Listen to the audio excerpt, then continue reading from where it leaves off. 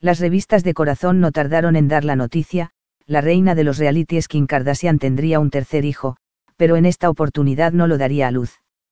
En el tráiler de la nueva temporada de la serie de televisión que protagoniza junto a su familia, Keeping Up with the Kardashians, le dijo a una de sus hermanas, tendremos un bebé. Kardashian, quien está casada con el rapero estadounidense Kanye West, había hablado en el programa sobre sus problemas en sus intentos por concebir.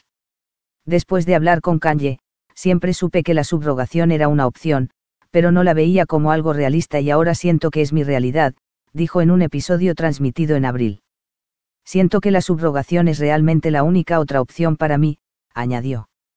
En el sitio web de cadena estadounidense que transmite la serie, se informó que la estrella de la telerrealidad había expresado abiertamente su interés en la subrogación después de que los médicos le dijeran que no era seguro para ella un tercer embarazo. En noviembre, en unas declaraciones que ofreció al programa de televisión estadounidense estadounidense Terreal, Kardashian habló de la mujer que está embarazada con su bebé. La amo, dijo. Tengo la mejor relación con mi madre de alquiler. Ella es muy buena. Es la persona perfecta para hacer esto por mi familia. Es maravillosa.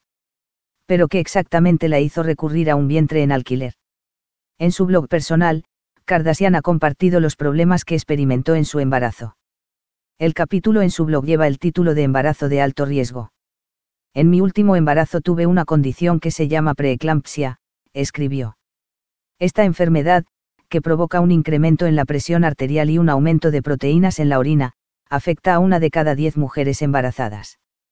La preeclampsia es la complicación más común y peligrosa que ocurre en el embarazo y si no se diagnostica y trata rápidamente puede poner en riesgo de muerte tanto al feto como a la madre. La enfermedad es el resultado de problemas en la placenta, la encargada de llevar oxígeno y nutrientes al bebé. Si no se le trata puede provocar convulsiones, derrame cerebral, lesiones renales y hepáticas, problemas respiratorios y muerte del feto y la madre. Se quedó pegada, indujimos el parto y, poco después, tuve a Nort. Inmediatamente después del alumbramiento, la placenta usualmente se sale. La mía no lo hizo. Mi placenta se quedó pegada dentro de mi útero, lo cual es una condición llamada placenta accreta, explicó Kardashian en su blog. La placenta accreta es cuando una placenta se implanta profundamente y no se desprende con facilidad durante el parto. De acuerdo con el sitio especializado en maternidad e infancia Baby Center, la placenta accreta puede causar hemorragia severa, y múltiples transfusiones de sangre durante el parto. La vida de la madre puede ponerse en serio peligro y, para controlar la hemorragia, los médicos pueden recurrir a una histerectomía. De acuerdo con la Asociación Estadounidense de Embarazo, la causa específica de la placenta accreta es desconocida, pero puede estar vinculada con la placenta previa y cesáreas previa. La placenta previa es cuando ésta se sitúa muy próxima al cuello uterino, de tal manera que obstruye el canal del parto. La placenta accreta está presente en 5% a 10% de las mujeres con placenta previa. Una cesárea aumenta la posibilidad de placenta accreta y entre más cesáreas, más crece. Múltiples cesáreas estuvieron presentes en más de 60% de los casos de placenta accreta, indica la asociación.